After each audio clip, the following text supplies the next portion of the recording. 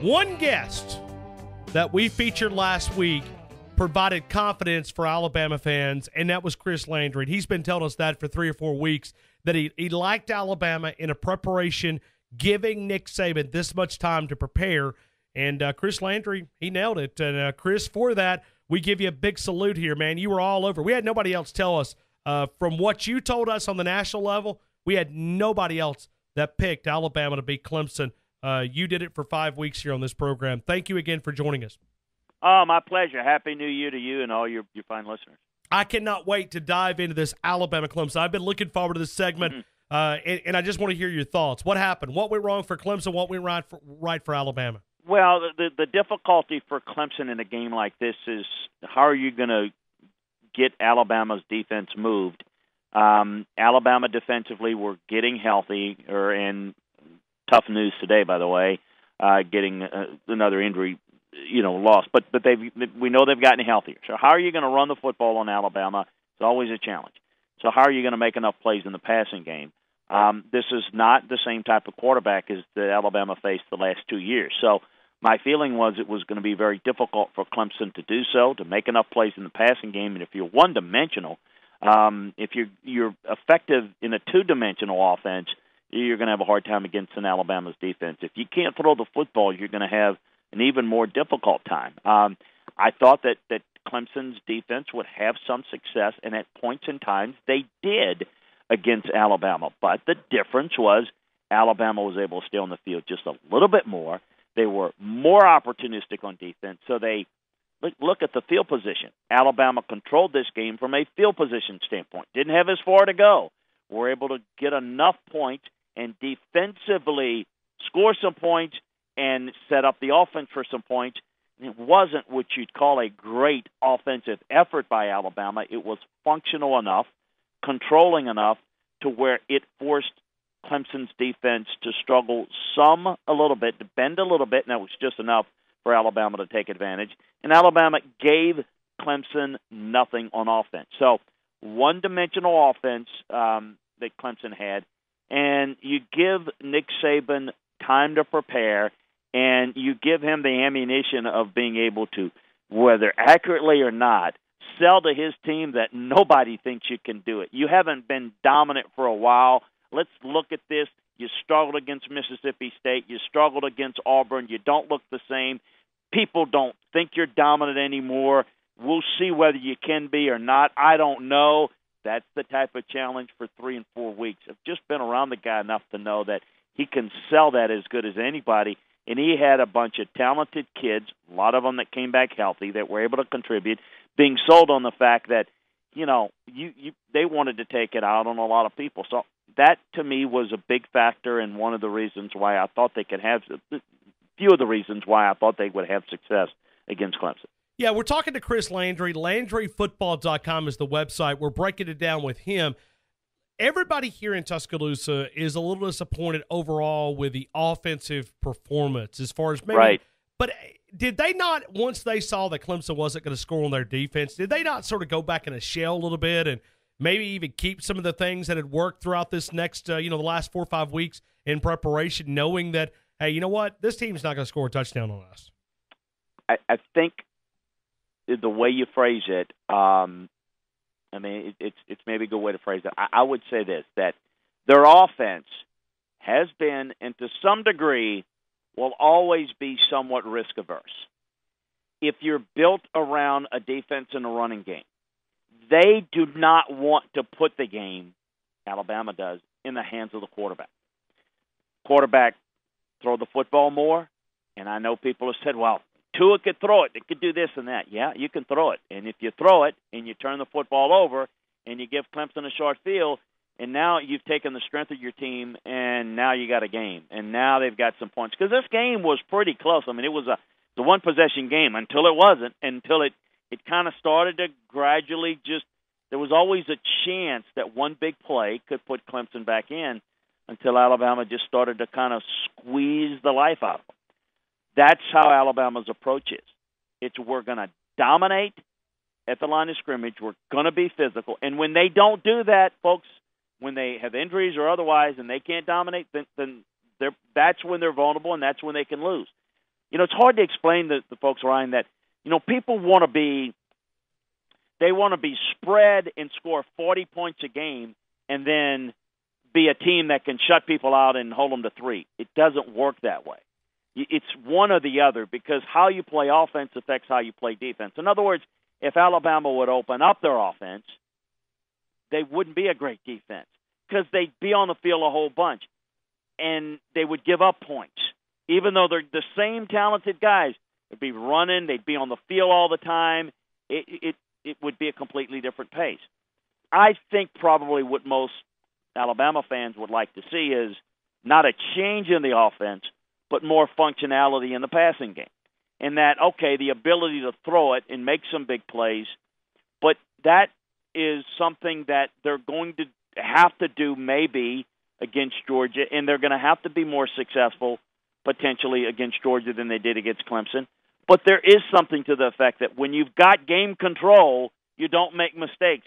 And that's kind of why he gets he gets the you know the red you know what when things kind of you're leading but you make a mistake you run a bad play you execute it wrong and you just give them one more chance you don't ever want to do that because there's always a play there's always a mistake something that can happen and unless you're blowing people out you're, you're going to have a hard time to overcome it so i think that it is fair for fans to say man i worry about the passing game you know, I wonder if we got to throw it, can we win? And the answer to that is is unknown. They may not be able to. But what I know is they're going to they know their best way of winning is controlling the game defensively, finding a way to throw the football well enough, the short passing game, the RPOs, the run elements with Jalen Hurts. Excuse me. If Clem, if uh, Georgia wants to play more man coverage like they had to do against Oklahoma in the second half, Alabama will look and see. They're going to run Jalen Hurts like a running back. They're going to do a lot of different designs. They're going to try to do things to get them moved, and then maybe they have no aversion to throwing it. They just want to throw it safely to make big plays while minimizing the negative plays. Well, if you're going to be a pass team, a pass heavy team, even a 50 50 pass team, then you're going to have more mistakes and you're going to have to live with it. And I say that most people are just happy with winning, and uh, I don't think anybody in Alabama wants to see um, 44 uh, to 42 games and you go eight and four. You know what I mean? And I'm not saying that you have to do that. If you want to see a really good football team that's really good on offense, but maybe just slightly short of national championship caliber, you saw it in the Rose Bowl with Oklahoma. That's what Oklahoma. And I'm not saying Oklahoma couldn't have won it, but again, that's like a basketball team that has to have a hot shooting night every night because in the end they can't stop people. And so the defense is the constant. The defense travels well. The defense is not as much scheme oriented. It's adjusting, it's being in position, and if you've got the best talent and you're well coached over the course of a season and an off season, you're best able to handle that. And you minimize, you marginalize considerably the risk of the big plays in the passing game, which could be big for you, big for the opponent. But I, with all that said, absolutely, you know, you, you ideally like to see more big plays and in the passing game, and know, I know as as, as fans, you'd like to see them score 35 points and hold an opponent to 10. Uh, I don't think this team's built that way. I, I think that to score a lot of points, they're going to have to do it running it, and I don't think they're going to be able to run up and down the field in Georgia. I think they're going to have to do it in a similar way, and are going to have to put pressure on the quarterback. They're going to face a better passer this week, or you know, the championship game Monday, as opposed to a less of an athlete. Uh, so there's going to be a difference there. And I want to continue talking about it. Chris Landry right now with us, LandryFootball.com. Chris, how frustrating is it coaching against Nick Saban? Well, I think uh, I've I've never had to do it. Um, we've worked together, and I've you know I've been in the NFL for so long that um, I, I've never coached against them. I, I think that here's the thing that's a little different about Nick, um, and I think it's the same about Belichick. And quite frankly, I think Kirby has this this quality. I think a few things that are that are that are similar.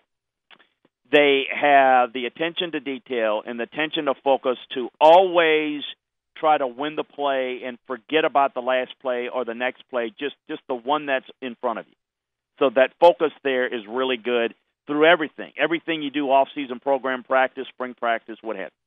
That's the first thing. And and most people are the opposite. Most people just sit there and they want to get things done, but the results don't happen. You have to make them happen. Two, I think the ability to see and adjust is exceptional for those type of guys. And so his ability to see things and be able to stay on top of it's always very difficult. Uh, when he has time to prepare, he's got better players and he's coached them better over time. People say, "Well, Nick wins because he gets the best players." Um, he gets the best players and he teaches them the best.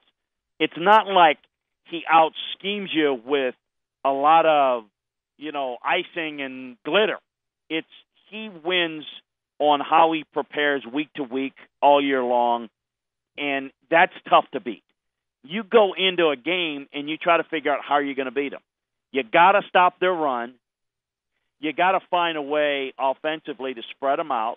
Do you have a quarterback that can do it? And then, oh, by the way, if you do that again, can you stop the run without having to put you know eight, nine players in the box? It, it's just difficult. He is going to have a plan, and he's going to be able to attack it. It's very difficult to prepare for guys like that that leave no stone unturned. They have a plan. They have an idea for every circumstance. He's not. He, the teams usually don't make mistakes, and normally when you are in championship level football, if you look at it, it's about the plays you don't make, not the plays you do make. Now in the NFL, it's really about that. If you want to look at why the Patriots consistently win, look at the plays they don't make, not the plays they do make. And oftentimes people say we should have beat the Patriots, we could have done this, and we Yes, but they didn't make the mistake in the red zone. They didn't uh, make a personnel uh, uh, uh, mistake in the red zone defensively. They didn't call a play that it, it, they they do a better job of avoiding that. Now, in college, in most games that you play, and if you get a place it like Alabama, you're going to win just because you're better.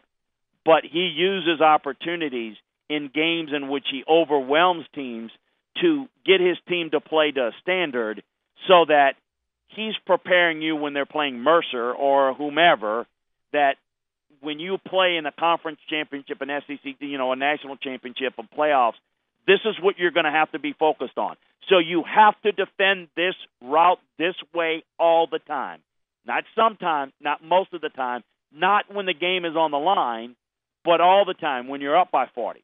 Because if you don't do it a certain way, then you're more apt to mess up when you have to have it. You want to make it routine. It's like you don't think about tying your shoe, you just do it. You know how to do it. He wants to make it so muscle memory focused that he has them prepared for every situation. And that's what makes it difficult. Try to beat that when they got the most talent and they're the best prepared, they're the most disciplined, they're the most hungry.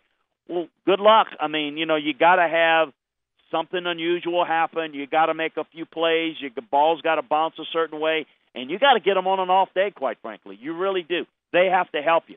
The problem is they don't help you a whole lot. But you you look at Nick Saban. Certainly, listen, AJ McCarron was a, a stud at quarterback, right? I, mm-hmm. I, think mm-hmm. he'll be a, a guy that will have a chance this offseason to to earn a starting job in the NFL. But you go through his list, like he doesn't need. You know, as I go through the last champions, he doesn't need a, a, a Cam Newton. He doesn't need a uh, Jameis Winston. He doesn't need a Deshaun Watson. He can kind of get it done without, you know, that A plus 10 out of 10 quarterback. Does that make any sense? Ryan, I'll take it a step further. He wants that type of guy because here's what happens. It's not that you don't want Deshaun Watson or somebody like that, but you're putting the ball in the hands of a Deshaun Watson, which is great, but it's all about the quarterback. The quarterback gets hurt. Quarterback has a bad day. What happens? You lose. Now I know Clemson won the national title, but the reason is Nick Saban would love to have a Deshaun Watson if Deshaun Watson will play the game like uh, an AJ McCarron or or someone that is not going to force the football in the harm's way. So, in essence, what he wants is the quarterback first and foremost to be a good decision maker. Protect the football. That's the most important thing. So, eat it. Don't take a sack. Don't throw a pick. Don't fumble the football. That's what he wants. And if you can do that, and and if you if you can't do that, you're not playing for him. If you can do that and you have the ability to make plays, that's great. That is gravy on top of you know the, the, the meal. It's just that he doesn't want to be a, a team. The only way for him to lose some games is if he has a quarterback that's risky with the ball and you turn it over. Because you can be the better team. You lose the turnover margin by three, you're going to lose the game to a team that's inferior to you and he's not going to do that. He's not going to put the ball in the hands of a quarterback. He's going to put it in the hands of his entire team in his entire process, and that's why he's consistently able to do it, and he's able to do it with different quarterbacks. And there's no doubt AJ can throw the football better, and he can do more things than Jalen Hurts will ever be able to do. Um, but Jalen Hurts can do things running the football that AJ couldn't do, or McElroy, or any of the guys. So there's a difference there, and he can he can go about doing it a different way, and it's quite frankly why he, dra- he drafted, why he recruited Jalen Hurts because he had more of the run pass option. He can do more things athletically, and with Tua, if if you know he'll get time in the spring and everything, Tua's great. Everybody loves Tua. You know I get that, and he's made plays in the spring game. He's made plays in mop up duty, folks. That's not making a play on third down, and you got to protect the football you don't want him throwing the football and putting it in harm's way in a spot where he's just a just a smidge behind. You know, all of a sudden it's a pick and it's a big play. I mean, you saw what happened against Auburn with Jalen. What happened? Turnovers, mistakes, miscommunication. Boom! It just it snowballed into what was a disaster for Alabama. And so that's what he wants. He wants a quarterback that's first and foremost a decision maker. And then on top of that, yeah, he wants to be able to throw it. And if a guy like Tua can be both, um, you know, who knows? He may be the future at Alabama. Uh, and the future may be next year. I don't know. But right now, you know, he knows what he wants out of the quarterback, and it's about playing winning football. And I said it last year. I thought Jalen Hurts played championship football last year. Uh, they they didn't get it done um, ultimately, but they they were right there. So I, I think that's there's no doubt in my mind that's what he wants. He wants a guy that's going to protect the football. And if he can do that and be more effective as a passer, I think that's ideally what he like. Chris, I, I'm, I'm not just saying this because you're on. I've been saying this for two hours.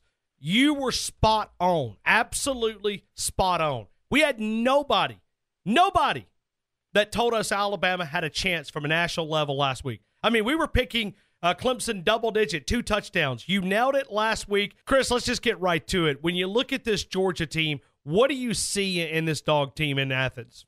Well, I think they're a different team than Clemson. I have a little bit more respect for their overall capabilities. Th- this team, I'm not just talking about the, the the program, you know, but but the fact that this is a team that's built very much in the image of way Alabama's built. Um, the offensive line has gotten better and better. This is not a great offensive line. Um, Wynn is a really good player. Baker's a solid player.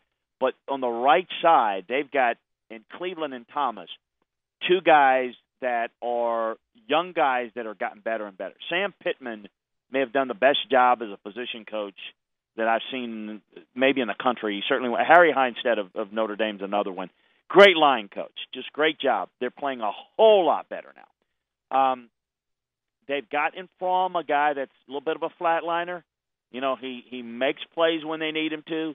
They're built around the running game, and boy, do they have running backs that they can throw at you. They'll mix in some wildcat stuff, as we saw in the Rose Bowl on, well, listen, goal line, red zone. They mix it up in the green zone area, outside the 20, and run it in for a touchdown in overtime.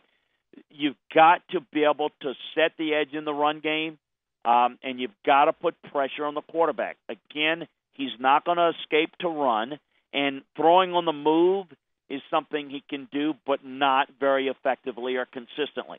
So, what you're going to see Alabama try to do is again, I want to make this point that is so critical in breaking down the tape of Alabama's defense against Clemson.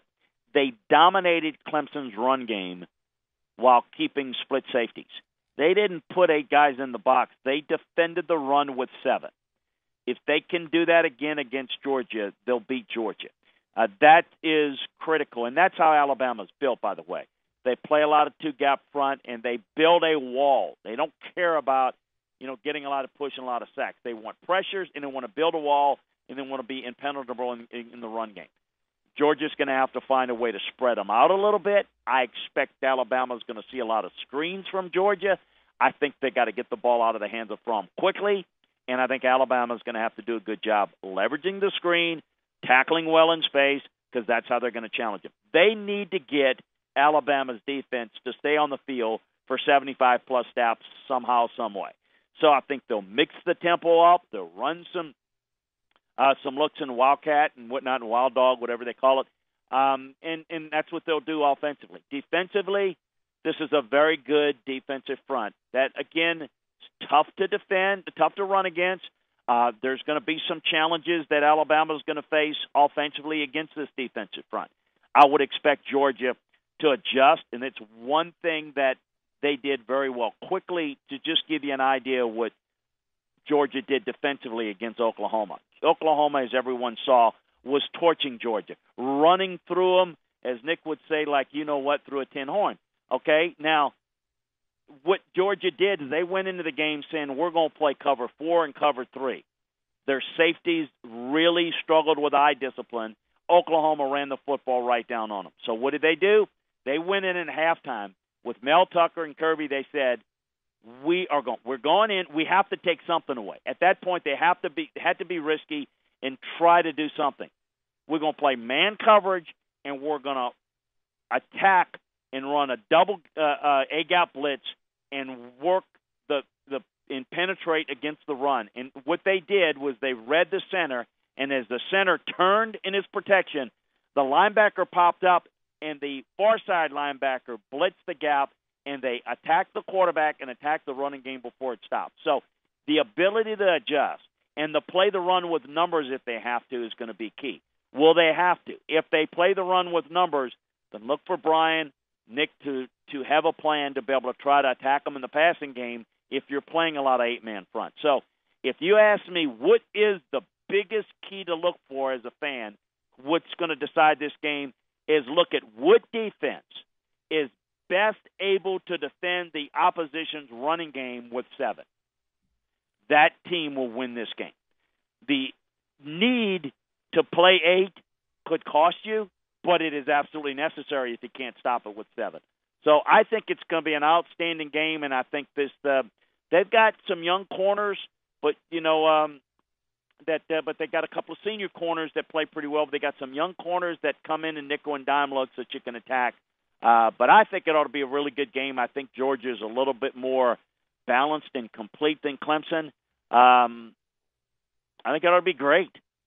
If you were sizing up the line of scrimmage battle, and I'm talking about Alabama's defensive line against Georgia's offensive line, who would you favor in that matchup? Uh, the defensive lines have an advantage over the offensive lines in both matchups. I'll simplify that. Okay.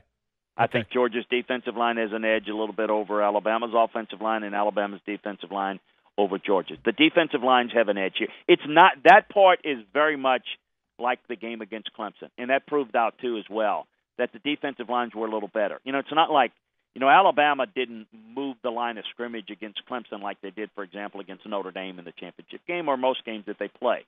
Um, this Georgia defensive line's pretty good. Now, um, is it where I think you can uh, uh, try to have to try to attack them is you try to have to work the perimeter a little bit. But boy, I tell you, they, they've got some they got some really good players uh, that Georgia does on that defensive side. Um, Mr. Smith is one heck of a football player that just pops up and make plays after plays after plays for him. Do you think Clemson had a better front than Georgia, or, or how would you rank? That? No, no. Okay. Clemson had a better defensive front, um, but you know Alabama didn't have great success against it. You know, I mean, it wasn't like they were moving that front. Uh, they had enough success. I thought Alabama wore down Clemson's front.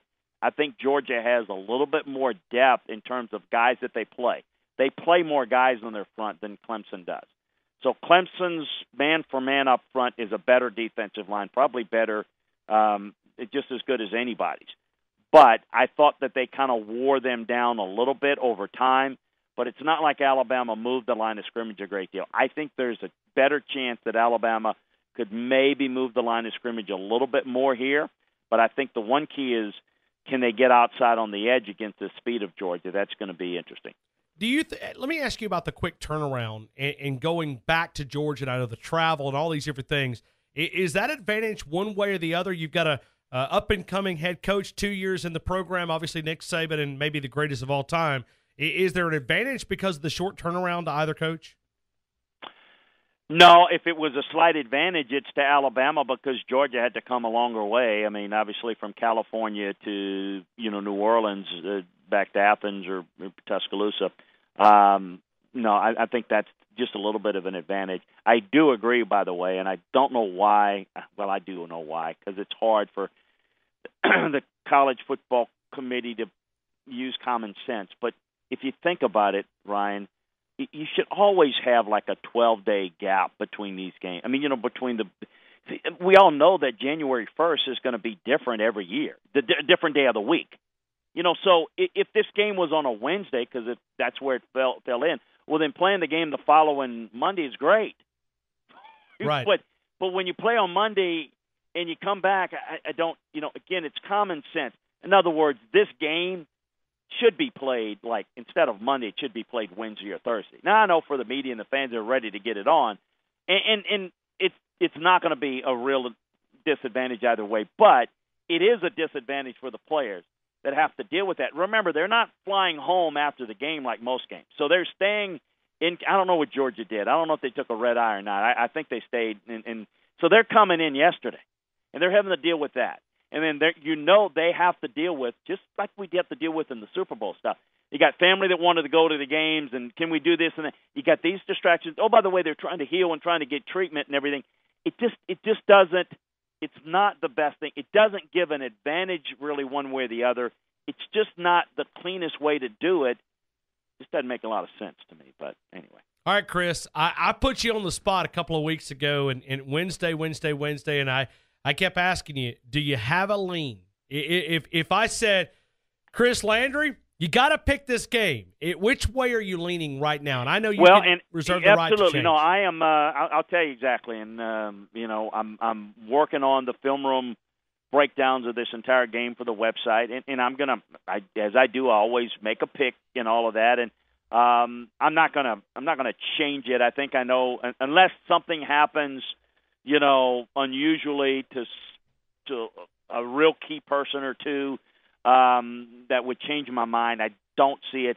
I'm leaning slightly to Alabama, uh, but but less so, less confident than I was against the game against Clemson for two reasons. One, one, I think that Georgia can do some things better than Clemson, not all things, some things, and I think you've got there's been preparation. Trust me, Kirby and Nick. Kirby's doing this. He learned this from Nick, and they have been preparing for the event of who they were going to play either way. So it's not like they're prepared, but the preparation of extra time is one thing that I really thought was in Alabama's favor. That's mitigated with the one week.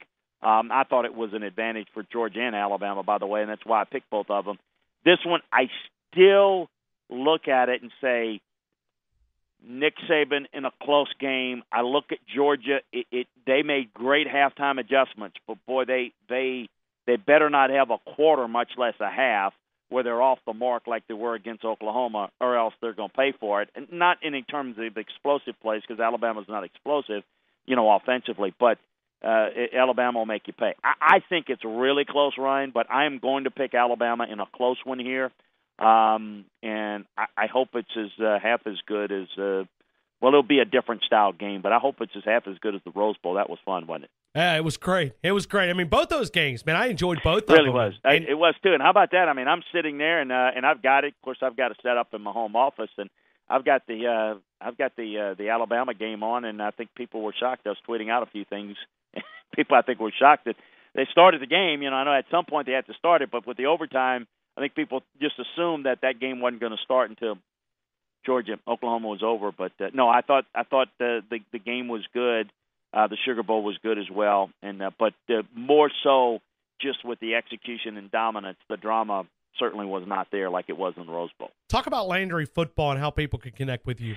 Well, we started this three years ago, and look, I mean, it was a byproduct of what I do with Landry Football Operations, which is a coaching and scouting uh, firm that that services NFL teams and college programs on coaching and scouting matters. So, figured, you know, what can we do for fans? So I said, well, I'm not quite sure, and the website was the idea that was born out of it. So we take you inside the film room, we break down the game. Listen, it's it's we like to say if it involves players, teams, coaches, and schemes, that's what we do. So right now we're, we're breaking down games like this, but after this game is over, we're gonna we're gonna have um, you know reports where we're gonna break down every prospect that Alabama signed or any every other team and give a scouting report and and keep up to date on all that. If you're an NFL fan, obviously we're breaking down all the playoff games, but we're getting ready for the draft, free agency. Um, there is no off season. There's a playing season and there's a business season in which you try to prepare for the football season and that's what we do. When we provide you the inside information, uh, stuff that's going on, as well as the film room stuff. You got Texas A&M uh, trying to lure away Dave Aranda away from LSU, and uh, that's a big story that's going on. We're going to keep you up to date on why and what's going on, whether it's going to happen or not. Um, all those things that are going to take place that uh, we try to keep everybody up to date from the inside on.